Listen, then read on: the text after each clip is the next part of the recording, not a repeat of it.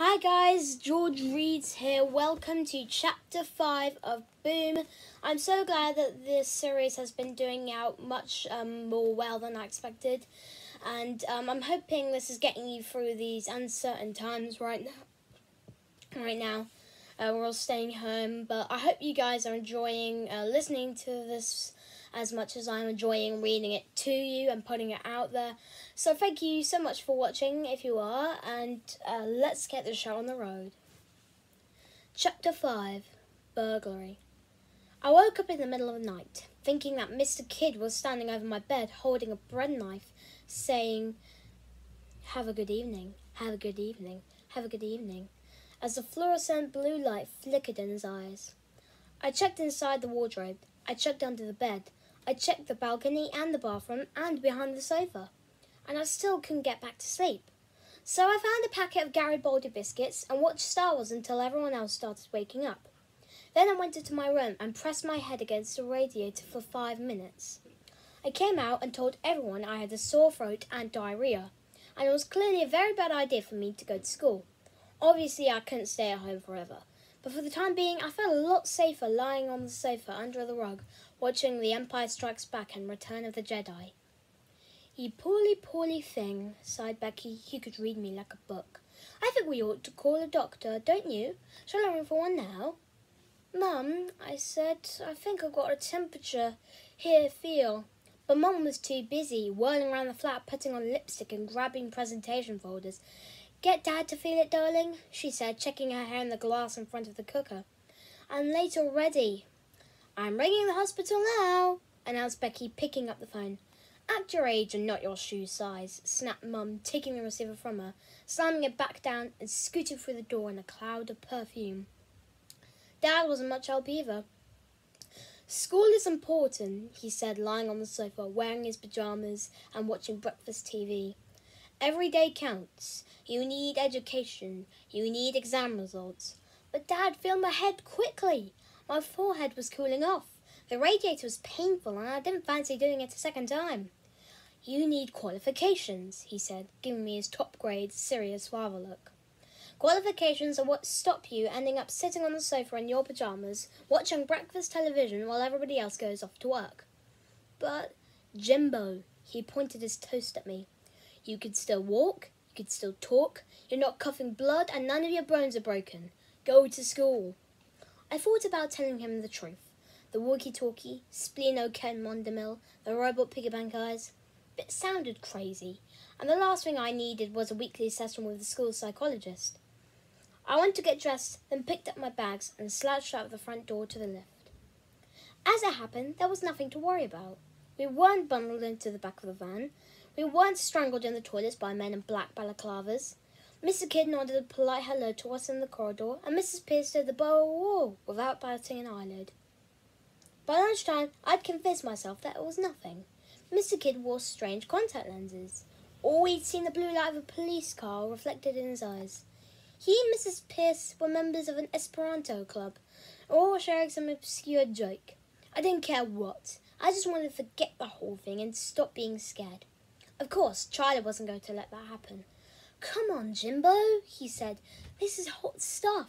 Tell me the last time anything this exciting ever happened to us. The answer was never. I didn't say it. He soldiered on. Perhaps there's a boring explanation. Perhaps there isn't. Perhaps Kin Pierce are bank robbers talking in code. Perhaps they're drug dealers. Perhaps they're spies. I mumbled incoherently. I'm going to follow them, said Charlie.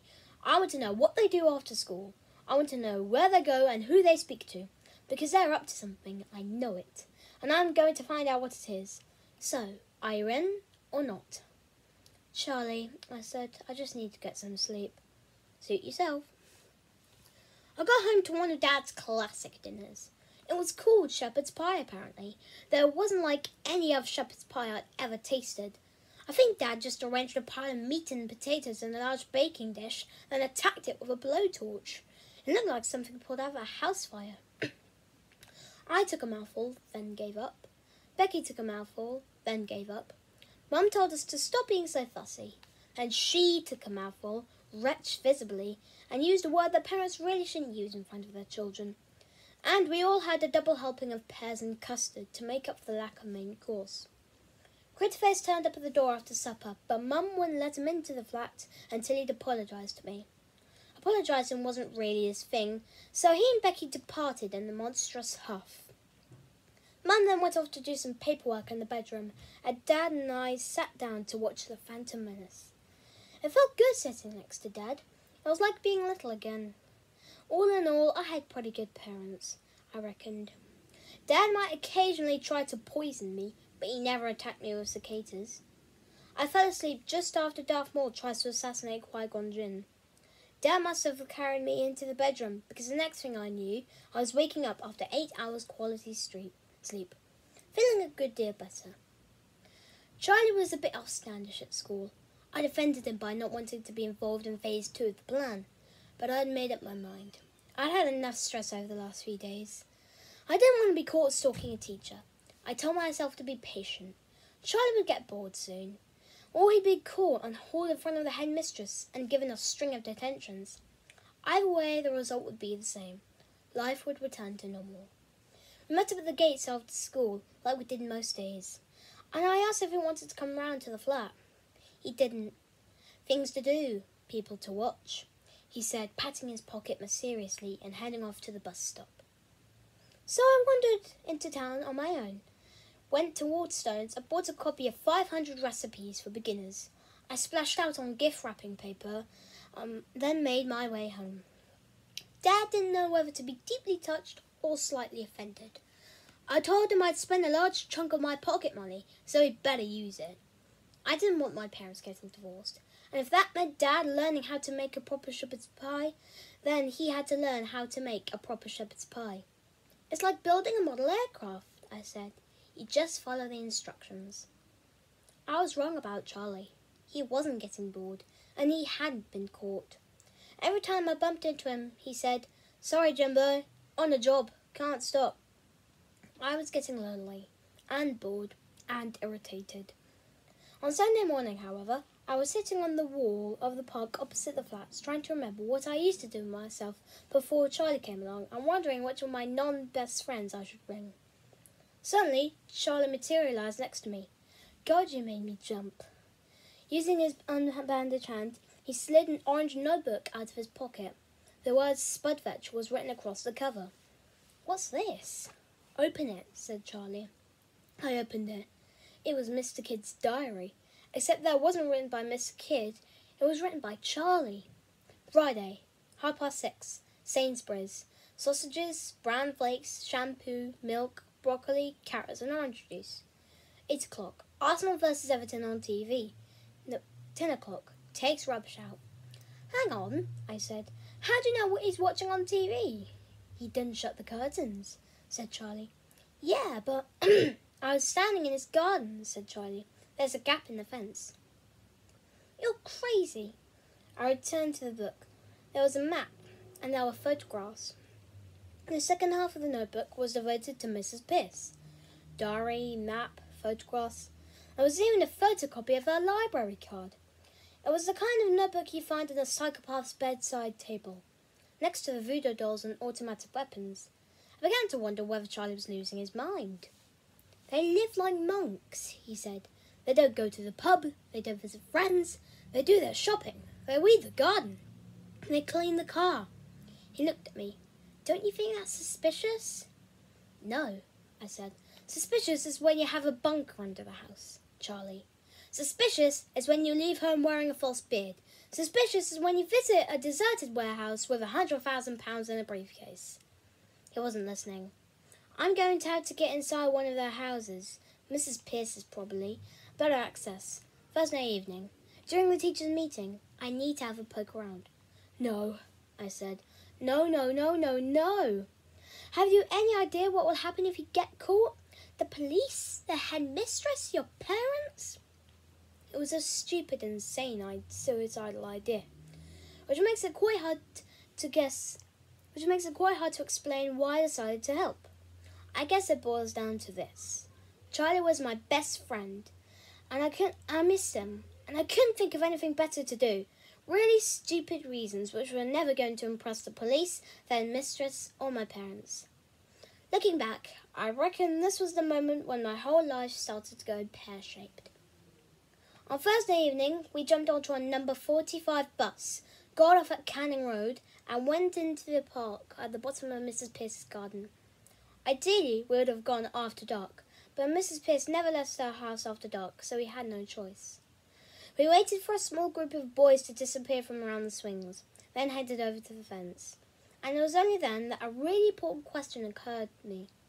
What? Charlie? What? How are we going to get in? He smiled and extracted a key from his pocket. You stole her house key? I couldn't believe it. No, Jimbo, said Charlie. I borrowed it. Last week. She puts it under a flagpole when she goes out. I popped out into town and got a copy made. I don't know whether to be impressed or mortified. Still, I reasoned, if you are going to break into someone's house, it was probably better to let yourself in through the window rather than doors, rather than smashing a window. We don't have much time, said Charlie. Let's go. Once we were inside, I began to see what Charlie meant. The house wasn't just ordinary, it was super ordinary, creepy ordinary, like a film set. Floral china, a tea tray, the radio times, a little silver carriage clock on the mantelpiece, a tartan shopping trolley by the front door. It really did look suspicious. We opened drawers, we looked in cupboards, we looked under the sofa. Quite what we were looking for, I had no idea. On the other hand, if we were acting logically, we wouldn't have been in the house in the first place. With every passing minute, a cold hand was started to close around my heart and when the clock struck five, I gripped Charlie's so hard I left fingernail, marks. Upstairs was just as characterless as down. There was a travel guide to Scotland, but that was the only piece of evidence that a real, living, breathing human being lived there. Right, I said, let's get out. We haven't done the loft, said Charlie. Are you out of your tiny mind? I whispered. He was. On the other hand, I didn't want to leave the house on my own. If I was going to bump into Mrs. Pierce, I wanted to do it with company. Charlotte climbed onto the banisters, lifted the square white hatch, and moved it to one side. Please, Charlie, I said, don't do this. But Charlie wasn't taking advice. He grabbed the side of the hatch and hoisted himself up into the darkness. He vanished briefly, then his head disappeared. Now you, climb onto the banisters. I climbed onto the banisters, and he reached down and pulled me up. When I was inside the loft, Charlie took a torch from his back pocket with his working hand, and I followed the oval of light as, as it swept over the joist. There was a box of Christmas decorations. There was some old floor tiles. There was an empty suitcase. There was a spider the size of a gerbil. There's nothing here, I said. Please, Charlie, I want to go home now but he was making his way over to the hot water tank and the pile of elderly cardboard boxes sitting around it. One by one, he started to open them and investigated the contents. I crouched next to him and started to help so we could get this over and done with as quickly as possible. It was me who found it a metal biscuit tin pushed into the recess beneath the tank. I pulled it out, blew the dust off, held it in the beam of Charlie's torch, and popped the lid open. Inside were seven brass wristbands, an ordnance survey map of somewhere in Scotland, and a piece of paper. Except that it wasn't paper, at least not any kind of paper I'd seen. It was like tin foil, but smoother and softer. Yet when I unfolded it, I could feel that it was as strong as leather. On it was printed, Trezit Pierce, 4300789. Fardol, Rivko Ben Nedrit, Tons Biz panpan, a donk bazoo dit venter. Prilio prilio doff nectarium gut vundan coius. NG487196. Bagnut, Lilo ren ban ropadonk gastro ungdit. Monta, Bantit Van Australian. We have hit the jackpot, baby, said Charlie. And that was the exact moment where we heard Mrs. Pierce coming through the front door downstairs. Don't move, said Charlie. He stepped round me and slid the square panel back over the hatch, shutting us both into the attic. And for a couple of seconds I thought I might be sick, which would not have been helpful. Charlie, I whispered, what the hell are you doing? He tiptoed back around me and picked up the piece of stuff that wasn't quite paper. Charlie? Shh! He slipped the orange spud-vetch notebook out of one pocket and a pen out of the other, putting the torch in his mouth and holding the notebook open with the bandaged paw of his right hand. He began to copy the incomprehensible Langman message. I sat with my face in my hands and breathed deeply and counted slowly to calm myself down. It didn't work. Through the ceiling, I could hear Mrs. Pierce moving about, opening doors, rattling the cutlery drawer, filling the kettle. It occurred to me that we might very well be stuck in the loft until she left for school the next morning.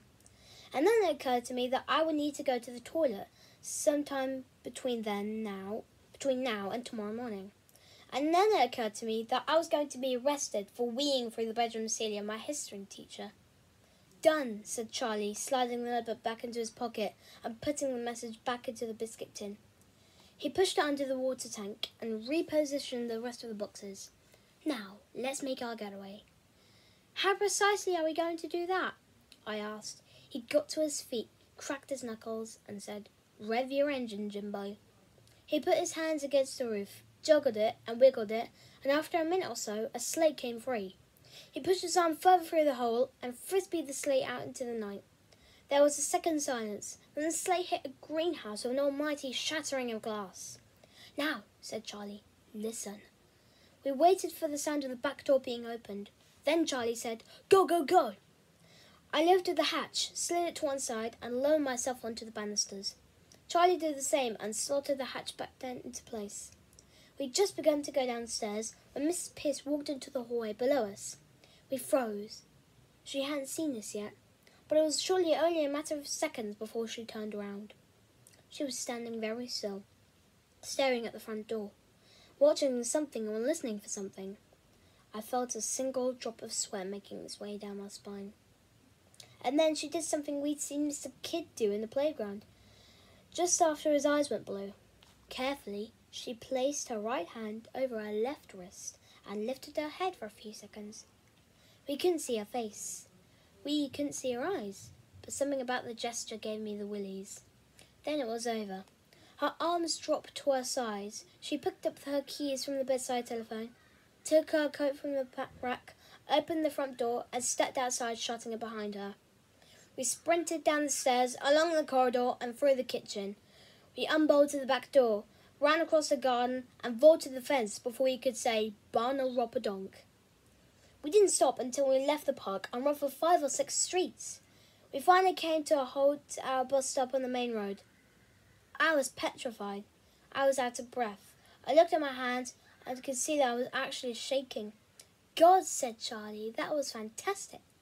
Next time, Charlie, I said, you're doing it on your own. I got home expecting a grilling about where I'd been and why I'd been there so long and why I hadn't told anyone beforehand. But Mum was working late, Becky was out with Craterface, and Dad was so engrossed in his cooking that we wanted to notice me bring a cow into the flat. I dumped my bag and sat down. He took a spoonful of something from the pan of the cooker and carried it carefully over to me. Try this. So I tried it, and it was really very good indeed. Tomato and orange soup, said Dad, with basil and cream and a dash of cognac. Wow, I said. Mum definitely won't divorce you now. And that's the end of chapter 5. Thank you guys so much for watching. This video turned out longer than I expected. It's clocking in at 19 minutes. Wow, that is a long chapter. My voice hurts from talking so long. Anyway, thank you guys for watching and I'll see you in the next episode. Goodbye.